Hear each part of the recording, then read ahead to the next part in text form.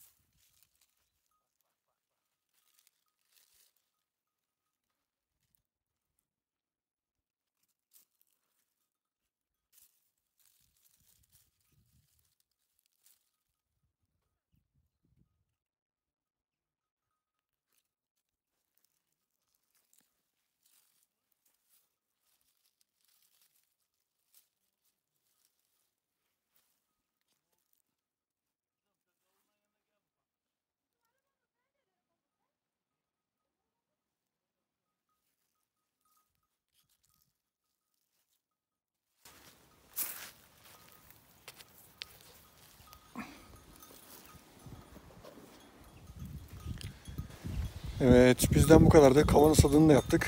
Elimizdekileri şimdi taşımak kaldı. Eller olsana koyup götüreceğiz. Bu kadar da izlediğiniz için teşekkür ederiz. İyi seyirler. Hoşçakalın.